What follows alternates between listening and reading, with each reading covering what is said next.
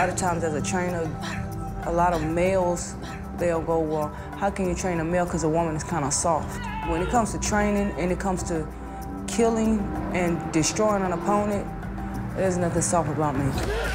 The tenacious training, mixed with the hardscrabble lives that James and Ann share, have made Kirkland into a potential champion, with Ann Wolfe's signature intensity as the rallying cry.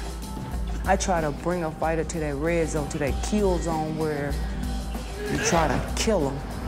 If you weak, you die. If you strong, you live. That's how the world goes round.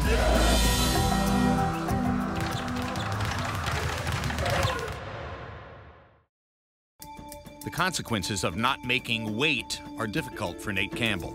He has been stripped of his lightweight titles before he can defend them for the first time. A harsh and sudden reminder Nate is almost 37 years old and in his 39th professional fight.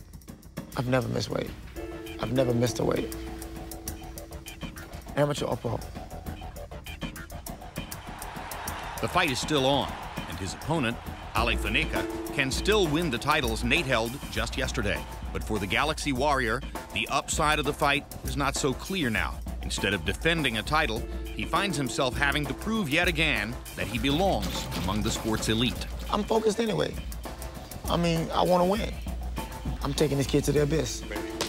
I didn't train as hard as I did to lose. But I, misery loves company, and I'm a miserable motherfucker right now.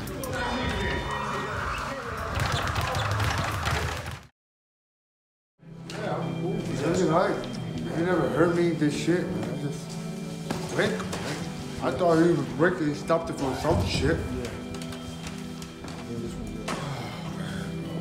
Never heard this way. I never was hurt. I, I just I felt like I was, he was quick about I felt like I was starting to catch up to him, you know what I'm saying? I felt good. I felt good. Yeah, you get hit, it's boxing, man. You know? He never hurt me. I never felt like, I felt like I was getting closer, getting closer. And they stopped it. Omar's disappointment is clear. Tonight's crushing loss puts hopes of a title shot even further away and brings the end of his boxing career closer.